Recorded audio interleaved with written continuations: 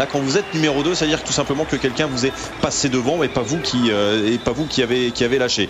Donc voilà, ce sera peut-être plus difficile à vivre pour Roger Federer. En même temps, on sait que, c'est un champion capable à une époque de toujours refuser la défaite, de toujours jouer mieux que son adversaire les points importants, de toujours appuyer là où ça faisait mal. Il n'arrive plus à le faire aujourd'hui et, et, ça n'a rien à voir avec Rafael Nadal hein, puisque ces défaites, il y a 7 contre Rafael Nadal mais il y en a aussi beaucoup d'autres face à d'autres joueurs. Et en même temps, Rafael Nadal est devenu plus fort qu'il ne l'avait jamais été en travaillant euh, ce qui était un petit peu moins bon dans son jeu, comme le service, comme euh, ce slice de revers et comme cette capacité à pouvoir terminer le point en 2-3 coups de raquette pour, euh, pour se préserver, pour gagner du temps, pour s'économiser.